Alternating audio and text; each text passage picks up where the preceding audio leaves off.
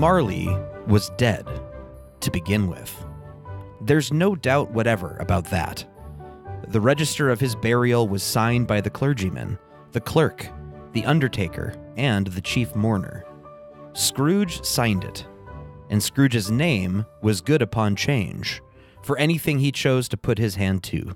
Scrooge and Marley were partners for I don't know how many years. But he was a tight fisted hand at the grindstone, was Scrooge, a squeezing, wrenching, grasping, scraping, clutching, covetous old sinner.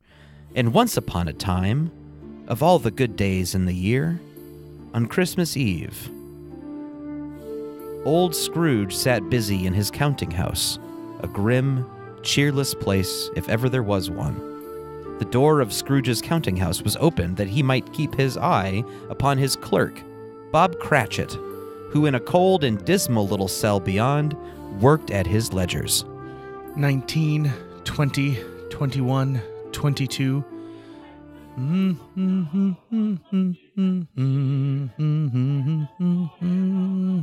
23, 26, 29, 9 carry 2, 17, 13, Bob 17 Cratchit! Uh, yes, Mr. Scrooge? Stop that infernal caterwauling! Uh, yes, sir. 9, 15, 17. I carry the six Singing their and- idiotic Christmas carols at my very door. Go on, get away from my door. Go somewhere else and bellow your blasted carols, or I'll give you. Why, Governor? It's an old custom at Christmas time, you know. Yes, and I don't want any of your old customs. Take your fellow fools and go away. Christmas. Blech. Right, sir. Merry Christmas anyway, sir. Ah, now, you get that letter from Higgins and Blackthorn, Cratchit, and then I want you to finish posting this ledger.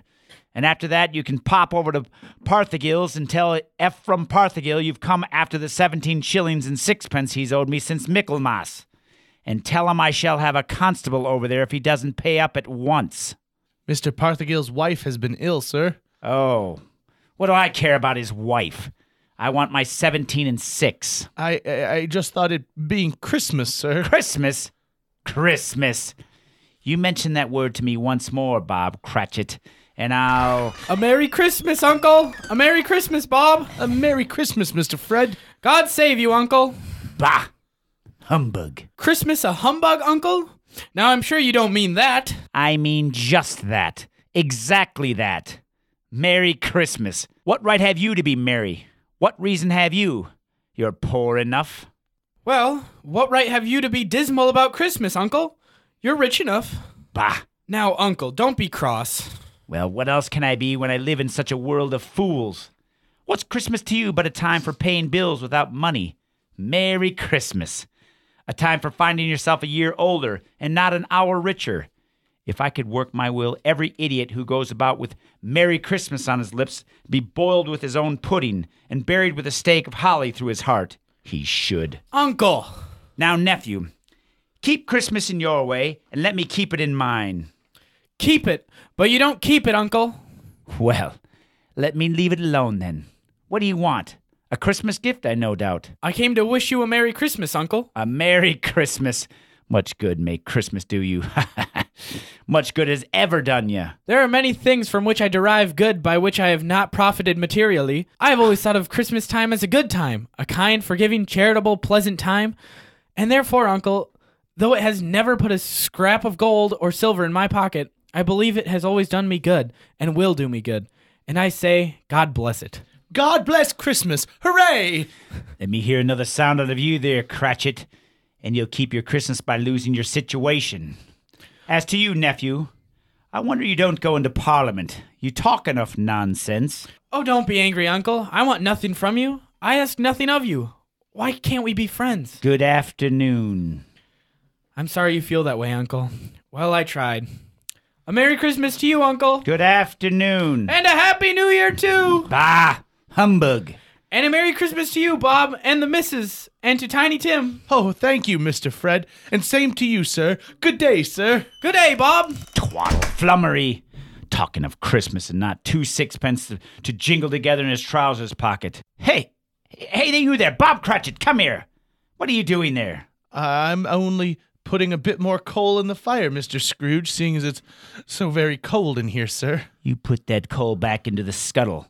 A fire. A fire indeed. I can tell you, if you use coal at that rate, you and I will soon be parting company, Bob Cratchit. You understand that?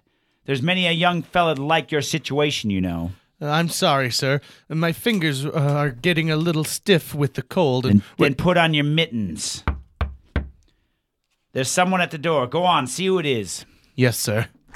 Uh, good afternoon, sir. Good afternoon. Is this the firm of Scrooge and Marley? Yes, sir. I should like to see the head of the firm, if I may. Oh, very good, sir. What is it? A gentleman to see you, Mr. Scrooge. Have I the pleasure of addressing Mr. Scrooge or Mr. Marley? Marley's been dead these seven years tonight. I'm Scrooge. Well, now, Mr. Scrooge, at this season of year, it's only fitting that we who are more fortunate should raise a fund to buy the poor some meat and drink and means of warmth.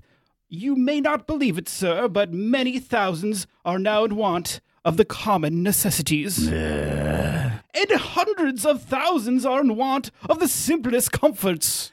Are there no prisons? W- Well, sir, there are plenty of prisons, sir. And the workhouses? They're still in operation, I trust. I wish I could say they are not, but they are, sir. The treadmill and the poor are in full vigor then? Both very busy, sir. Ah, I'm glad to hear that. I was afraid from what you said at first that something had occurred to stop them in their useful course. No, sir. All these institutions that you have mentioned are flourishing, but there is nevertheless true that some additional provisions of the poor and destitute must be made. Pah! A few of us, upon change, are endeavoring to raise such a fund. And, uh, what shall I put you down for? Nothing. Oh, I see. You wish to be anonymous, sir. I wish to be left alone. I don't make merry myself at Christmas time, and I can't afford to help make a lot of idle people merry. I help to support the establishments that take care of the poor. They cost enough. Let those who are badly off go there. Many can't go there, sir, and many would rather die. Then my advice to them is to do so and decrease the surplus population. Besides, I've only your word for it that all this is so. It's the truth, Mr. Scrooge. Well, so be it then. It's not my business. It's enough for a man to understand his own business and not to interfere with other people's. Mine occupies me constantly. Good afternoon, sir. Oh, I quite understand, Mr. Scrooge. Good afternoon. Cratchit, show this gentleman out. Yes, sir. This way, sir, please. Sir, I couldn't help overhearing. I should like to contribute tuppence. Cratchit! Uh, yes, sir. It isn't much, but it's all I can afford. There are others in worse situation than I. You are a generous fellow. I wish I might say so of your employer. Cratchit! Uh, yes, sir. Good afternoon, sir. Good afternoon. Cratchit! Merry Christmas. Merry Christmas. Y- yes, sir. Close the door! Yes, sir. 24, 31, 1, carry 3, a new scarlet tippet for Tiny Tim, a comb for Martha, 33, 3, and carry 3, a hair ribbon for Belinda, 4, 7, 12. Cratchit! 50 uh, yes, sir. Yes, sir. It's too late to have you go to Parthagil's. He'll be closed up for Christmas like these other fools. We may as well close up the place now. Yes, sir. It is getting a little dark, hard to see the figures. I, I suppose you'll want the entire day tomorrow? If it's quite convenient, It's sir. not convenient, and it's not fair either. But I suppose I can't do anything about it. if if I was to stop half a crown of your wages, you'd think yourself very ill used, I'll be bound. Well, sir, I. I Yeah, but you don't think me ill used when I pay a day's wages for no work. It's only once a year, sir. Once a year? Once a year, indeed. A fine excuse for picking a man's pocket every 25th of December. But I suppose there's no good talking. You must have the whole day. Well, see that you're here all the earlier the next morning. You understand? Oh, I will, sir. I will indeed. Good night, sir, and Merry Christmas. Bah! Merry Christmas. Bah!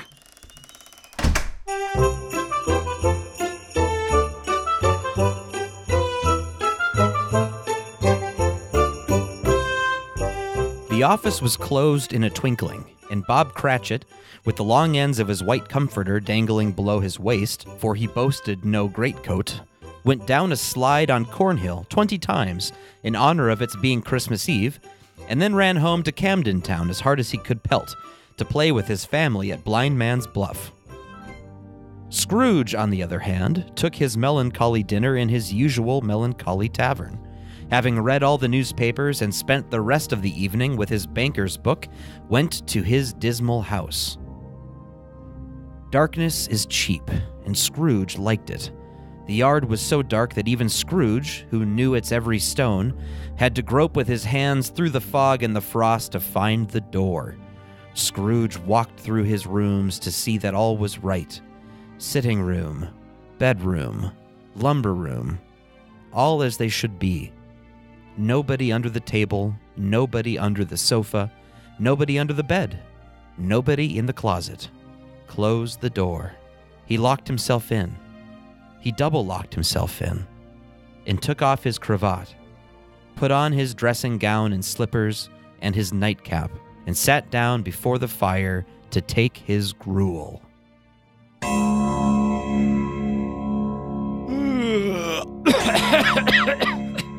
Marley. Marley? Marley. I could have sworn I sold. Ah, humbug. Marley's been dead these seven years. Humbug. All humbug. What I need is a good night's. What? What's that? Someone's in the wine cellar, but the door's locked and double locked. Something. Something's coming. So, something is coming closer outside my door. I won't believe it. It's humbug still. Ebenezer Scrooge! Ebenezer Scrooge! Marley! Oh no! What do you want with me? I want much of you, Ebenezer. Who are you? Ask me who I was. Oh, oh, you're very particular for a ghost. All right then. Who were you? In life, I was your partner, Jacob Marley. Jacob Marley, but but you're dead. You died seven years ago. Seven years ago this very night. What's wrong, Ebenezer? Don't you believe in me? I do not. You doubt your senses, Ebenezer? Yes. Yes, because a little thing affects me. A slight disorder of the stomach makes them cheats. You can't be a ghost. You may be an undigested bit of beef, or a blot of mustard, or a crumb of cheese, a fragment of an underdone potato. there may be more gravy than grave about you, whatever you are. Ah, humbug, I tell you. Humbug.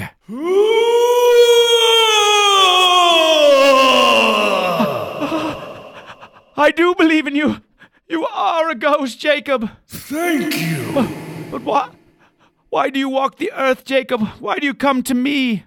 It is required of every man that the spirit within him should walk abroad among his fellow man and travel far and wide to witness what it cannot share, but might have shared on earth and turned to happiness. But tell me, Jacob, what is that chain you wear around you?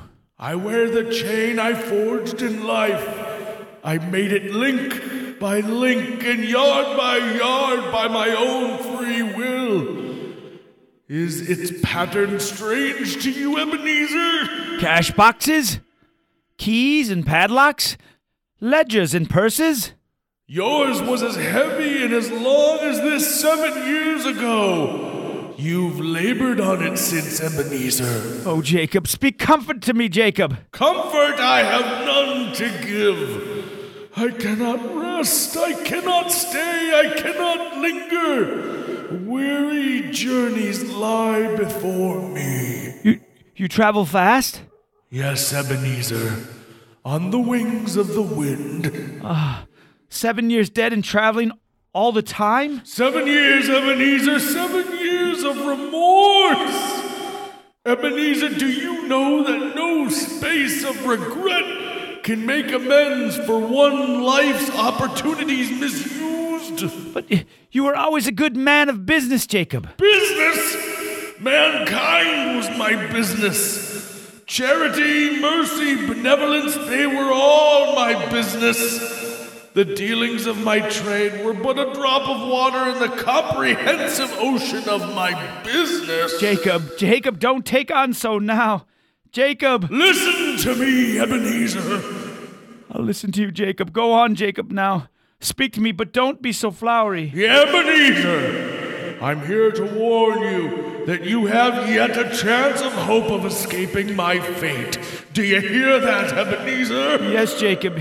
Yes, you always were a good friend to me, Jacob. Thanks, Jacob. But but go on, go on, go on, go on.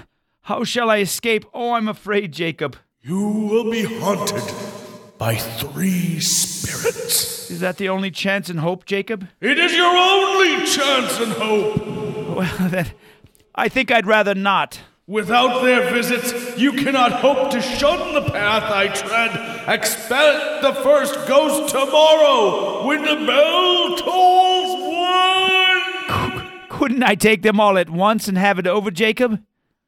Ebenezer, look that, for your own sake, you remember what has passed between us. When the bell tolls one, look for the first. Marley! Jacob Marley!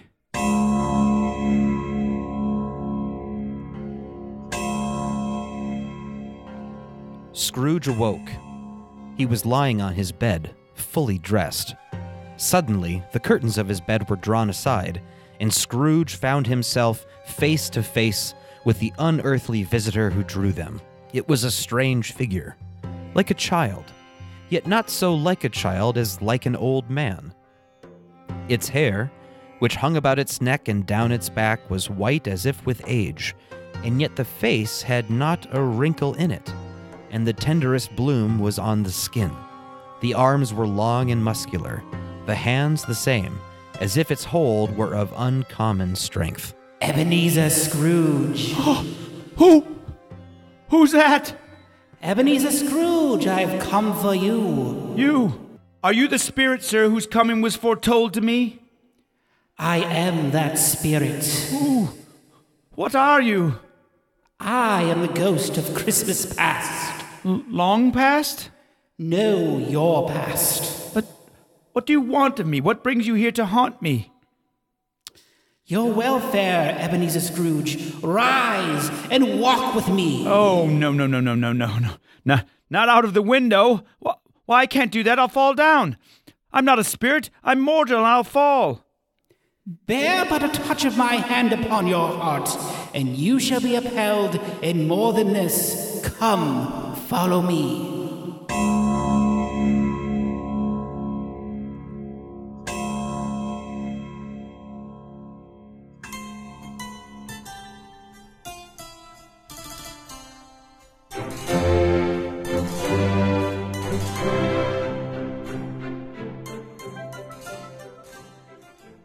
Where are we? What's become of the city? And the, there's snow upon the ground. Where are we? These are the shadows of things that have been. You recognize this countryside? I know every inch of it, every rock, every tree. And that bleak building over there. Ah, that building. I was a boy there. Yes, I went to school in that horrible place. Do you recollect that path? I could walk it blindfold. Strange you should have forgotten it so many years. Come, let us go closer. Look through the window into that cold, barren room. What do you see, Ebenezer Scrooge? I see a boy. A solitary child, neglected by his family, alone. Yes, yes, I see. I know that boy. Oh, I was so lonely, poor boy. Your lip is trembling, Scrooge. And what is it on your cheek? It's nothing, nothing at all. I wish I. Uh, it's it's too late now. What's the matter? Nothing, nothing. The waifs came to my door singing Christmas carols last night, and there was a boy like that among them. A poor, pale, thin little boy in a ragged coat. I should like to have given him something. That that's all. Is that all? Come, Ebenezer Scrooge. Let us see another Christmas.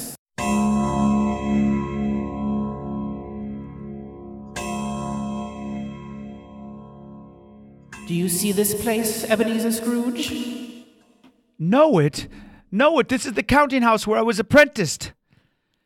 It's my old master, bless his heart, old Fezziwig. My master alive again and hosting one of his Christmas parties. Pick your partners. Listen to him. Corkscrew, thread the needle and back to your places. Oh, and there's Dick Wilkins. Poor Dick, dear, dear, dear. Oh, yes, and look, there's Mrs. Fezziwig herself, looking younger than any of 'em. And the table's all loaded with roasts and cider, mince pie and beer. Oh, what a jolly time we used to have. That carefree young man with the light heart and the gay smile. Do you recognize him? Yes, yes, yes, merciful heaven. How happy I was then. A small matter of old Fezziwig to make those silly folks so full of joy. Small matter. Small indeed. Isn't it? He has spent only a few pounds of your mortal money. Is that so much that he deserves praise? It's not that. It's not that, Spirit. Old Fezziwig has the power to make us happy or unhappy, to make our service light or heavy. His power lies in words and looks, and in things so tiny that it's impossible to count 'em up. The happiness he gives is quite as great as if it cost a. What is the matter? Oh, oh, nothing, nothing at all, Spirit. Something, I think. No, n- no. Speak. Well, only. It's just that I should like to be able to say a word or two to my clerk, Bob Cratchit, that's all. My time grows short, and we have yet another journey to make. Where now? Come.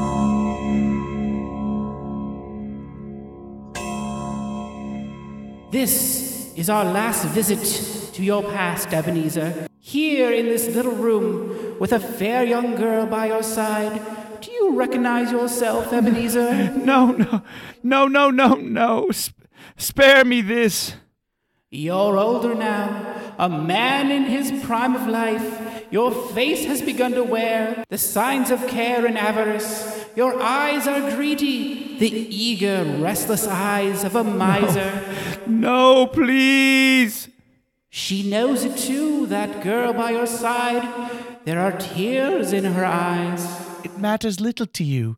Very little. I know that. Belle, have I changed toward you? When we were engaged, we were both poor. Was it better then? Better to be poor? Better at least to be happy. You're changed. You were another man then. I was a boy. You blame me because I've grown wiser? Have I tried to break our engagement? In words, no. Never. In what then? In a changed nature. In an altered spirit.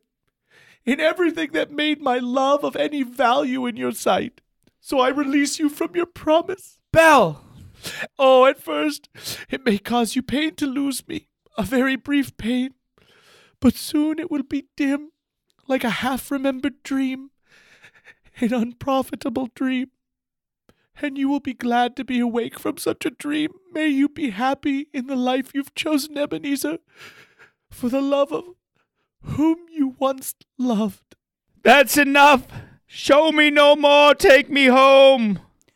These were the shadows of things that have been, that they are what they are. Do not blame me. No. No more.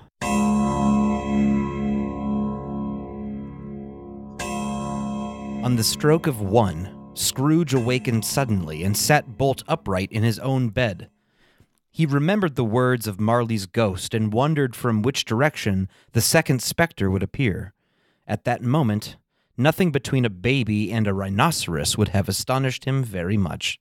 Now, being prepared for almost anything, he was not by any means prepared for nothing, and consequently, when no shape appeared, he was taken with a violent fit of trembling. Five minutes, ten minutes, a quarter of an hour went by, yet nothing came. Then, as he sat in his bed, he became aware gradually of a great blaze of ruddy light, which seemed to shine upon him from the adjoining room. He got up softly and shuffled in his slippers to the door. It was his own sitting room, no doubt about that, but it had undergone a surprising transformation. The walls and ceiling were so hung with living green that it looked a perfect grove, from every part of which bright gleaming berries glistened, and such a mighty blaze went roaring up the chimney as had never been known in Scrooge's time, or for many and many a winter season gone. Heaped up on the floor to form a kind of throne were turkeys, geese, game, poultry, great joints of meat, sucking pigs, long wreaths of sausages, mince pies, plum puddings, barrels of oysters, red hot chestnuts, and seething bowls of punch that made the chamber dim with their delicious steam. In easy state upon this couch there sat a jolly giant, glorious to see, who bore a glowing torch in shape not unlike Plenty's horn, and held it up, high up, to shed its light on Scrooge as he came peeping round the door. Come in, come in, Ebenezer Scrooge, and know me better, man. Who? Who? I am the ghost of Christmas present. Look upon me. You've never seen the like of me before. You're, you're different from the other spirit. You're tall, almost a, a giant, and that great torch you carry. Its light pours into the homes of rich and poor alike. Spirit, take me where you will. Last time I went against my will and learnt a lesson which is working now. If you have anything to teach me, let me profit by it. Touch my robe, Ebenezer Scrooge. Touch my robe.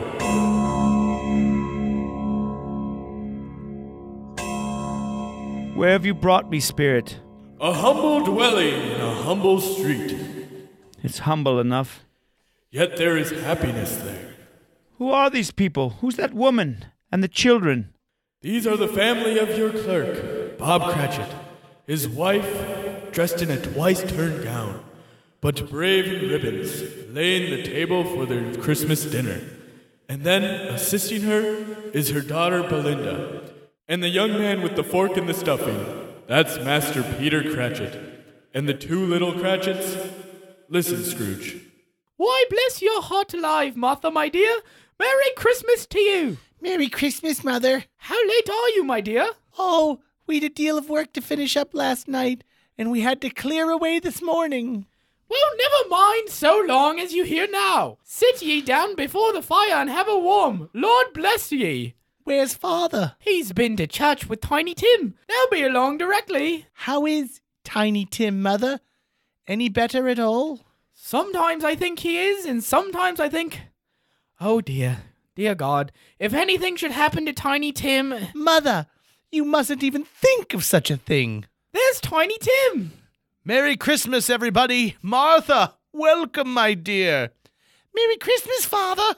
And Tim. Merry Christmas, Martha. Oh, Tim, you darling. Oh, Father, I'm so glad to be home. And we're so glad to have you, Martha. And how did little Tim behave in church, Bob? Oh, as good as gold and better. I like church, Mother. Oh, they sang the nicest songs. I hope people saw me there. Saw you there? And why, Tim? Well, don't you see? Because I'm lame. And if they saw my crutch, it might be pleasant for them to remember on Christmas who it was made lame beggars walk and blind men see. Oh, bless you, my son. Are we ready to eat, Mother? Yes, children, we're all ready. Come, come, take your place now. And Bob, wait your turn. There's plenty. Stuffing and dressing and plum pudding for you all. Martha, you take care of Tiny Tim. Yes, Mother.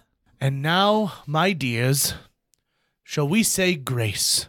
Spirit, tell me if Tiny Tim will live. I see a vacant seat in the poor chimney corner, and a crutch without an owner. Oh, no, no. No, no, kind spirit. Say he'll be spared. Say he'll live. If these shadows remain unaltered by the future, Ebenezer, the child will die. Amen. And now, my dears, with such a dinner a toast. A Merry Christmas to us all, and God bless us. God bless us, everyone. And now to Mr. Scrooge, the founder of the feast. Founder of the feast indeed.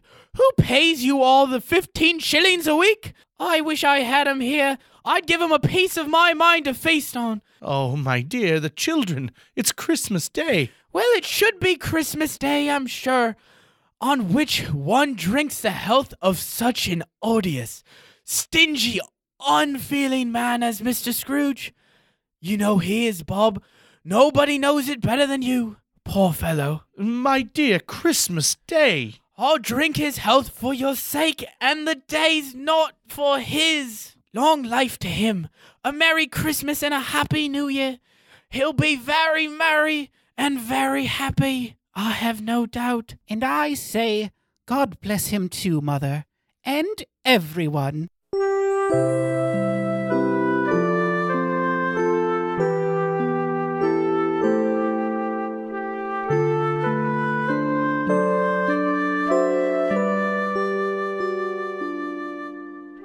There was nothing of high mark in all this. They were not a handsome family, these Cratchits. They were not well dressed. Their shoes were far from being waterproof. Their clothes were scanty, and had known, very likely, the inside of a pawnbroker's. But they were happy, grateful, pleased with one another, and contented with the time. When, at last, they faded, Scrooge had his eye upon them, and especially on Tiny Tim, until the last. Many calls Scrooge made that night with the ghost of Christmas present. Down among the miners they went, who labor in the bowels of the earth, and out to sea among the sailors at their watch. Dark, ghostly figures in their several stations. Much they saw, and far they went, and many places they visited, but always with a happy end. The spirit stood beside sick beds, and they were cheerful. On foreign lands, and they were close at home. By poverty, and it was rich. In almshouse, hospital, and jail, where vain man in his little brief authority had not made fast the door, and barred the spirit out, the spirit left his blessing. It was a long night. If it was only a night. And it was strange, too, that while Scrooge remained unaltered in his outward form, the ghost grew older, clearly older. My life upon this globe is very brief, Ebenezer. It ends tonight. Tonight? Tonight at midnight, hark, the hour has come. Oh, no, no, not yet, not yet. There, there's still more things I wish to learn. These you will learn from another spirit. Still another spirit, Ebenezer. Scrooge looked about him for the ghost. It had vanished, and he found himself once more in his bed, in his dressing gown and his nightcap on his head. He heard the clock strike, and then he remembered the prediction of old Jacob Marley, and lifting up his eyes, beheld the third spirit. A solemn phantom, shrouded in black, draped and hooded, coming towards him, slowly and silently, like a mist along the ground. I know you. You. You're the ghost of Christmas yet to come. You'll show me the shadows of things that have not yet happened, but will happen in the time before us. Answer me, spirit, ghost of the future. I fear you more than any specter I've seen. Yet I know your purpose is to do me good, and as I hope to live to be another man from what I was, lead on. Lead on, the night's waning fast, and time's precious.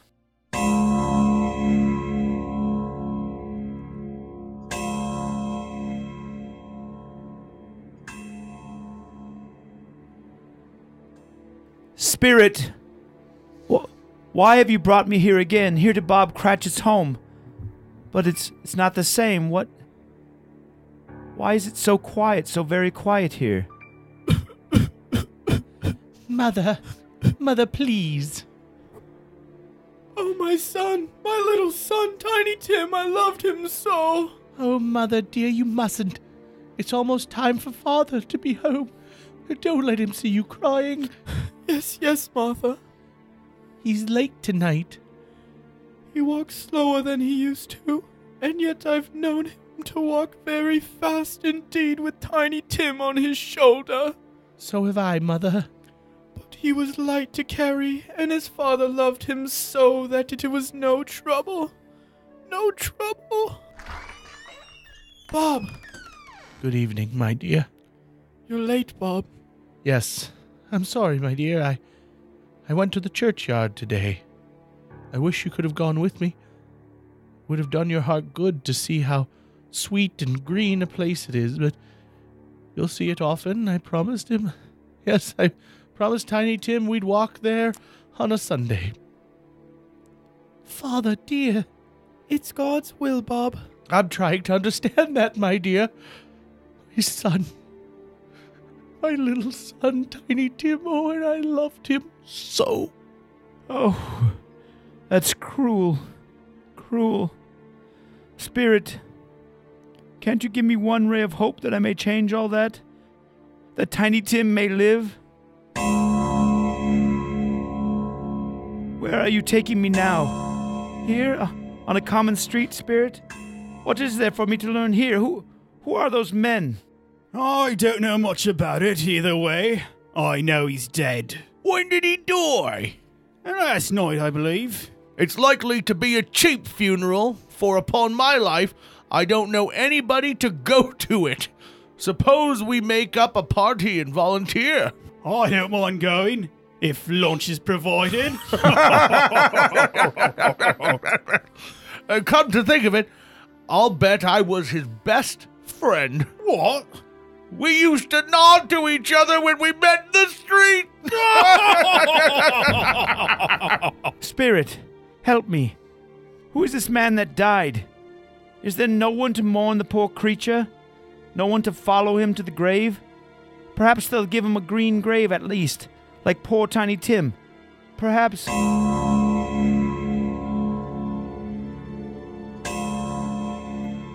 Spirit, where are we now? Merciful heaven, a churchyard? Desolate, lonely, crumbling gravestones?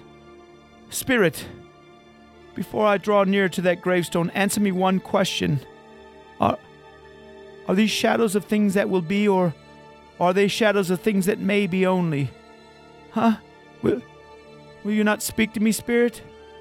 What is that grave to which you point? Ah, now I see it. Uh-huh. There's writing on that stone. The name on the gravestone is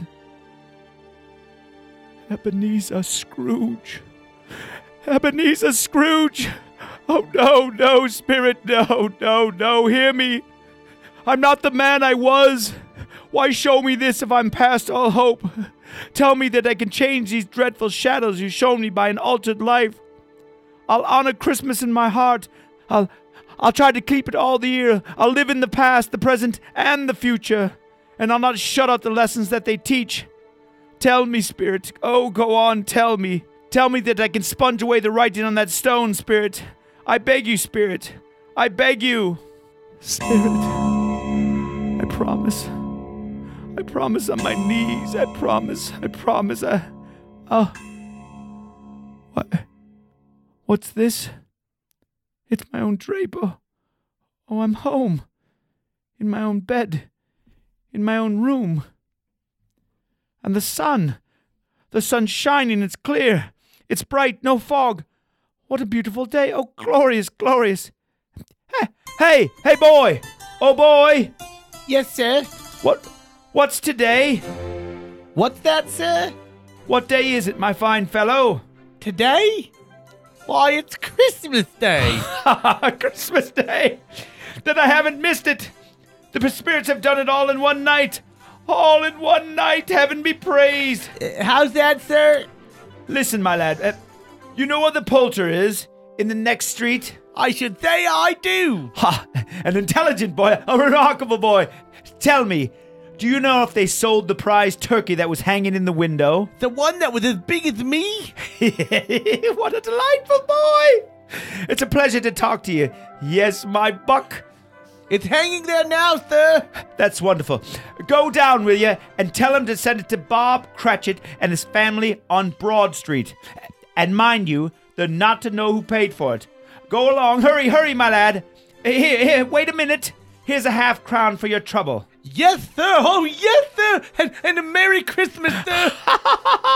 and a Merry Christmas to you, my boy. Oh, I don't know what to do. I'm as light as a feather, as happy as an angel. I'm as merry as a schoolboy. Merry Christmas! A Merry Christmas to everybody! A Happy New Year to the, all the world! Woo! hoo hoo. Hello! My dear sir, how do you do? I beg your pardon. Well, you, sir, aren't you the gentleman who came to my office in regard to that charity? Why, yes, sir. A Merry Christmas to you. Uh, yes, sir. Al- allow me to ask your pardon, sir, and will you have the goodness to accept? I prefer to whisper this. What? What? What? But Lord bless me! My dear Mr. Scrooge, are you serious? If you please now, not a farthing less. a great many back payments are included in it, I assure you. will you do me that favor? W- well, my sir, I don't know what I can say to so much mo- Now, don't say anything, please. Come and see me, will you? Will you come and see me? I will. I will indeed. thank ye. I'm much obliged to you. I thank you 50 times. Bless you. Merry Christmas. Next morning, Scrooge was early at his office. He went early for a reason. If he could only be there first and catch Bob Cratchit coming late, that was the thing he'd set his heart upon. And he did it. Yes, he did. The clock struck nine. No Bob. A quarter past. No Bob. Scrooge sat with his door wide open that he might see him come in. At last he came. His hat was off before he opened the door. His comforter, too. He was on his stool in a jiffy, driving away with his pen as if he were trying to overtake nine o'clock. 15 and 21, 6 and carry the 1, and 24 and carry the 2, 31 and 8 and 9 and... Hello, Bob Cratchit. Yes, sir? Step this way, Cratchit, if you please. Cratchit! What do you mean by coming in at this time of day? Why, I am very sorry, sir. I am behind my time. You are, yes, yes, I think you are. Oh, it, it's only once a year, Mr. Scrooge. It shall not be repeated. I, I was making rather merry yesterday, sir. I'll tell you what, my friend. I'll not stand this sort of thing any longer, and therefore, Bob Cratchit, I'm about to raise your salary. Mr. Scrooge, are you quite yourself, sir? No, no, thank heaven, I'm not quite myself. Merry Christmas, Bob. Merry Christmas, my good fellow. A merrier Christmas than I've given you in many a year. I shall raise your salary, and we'll see what we can do for Tiny Tim and the rest of your family. we, we'll discuss it this very afternoon over a Christmas bowl of smoking bishop. Bob, make up the fire, make it up, and and buy another coal scuttle before you dot another I, Bob Cratchit. Scrooge was better than his word. He did it all, and infinitely more.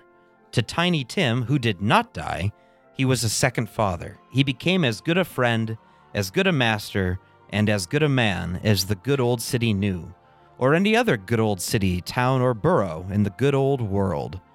Some people laughed to see the alteration in him, but he let them laugh, and little heeded them. His own heart laughed. That was quite enough for him. He had no further intercourse with spirits, but lived upon the total abstinence principle ever afterwards. And it was always said of him that he knew how to keep Christmas well, if any man alive possessed the knowledge. May that be truly said of us, of all of us. And so, as Tiny Tim observed, God bless us, everyone.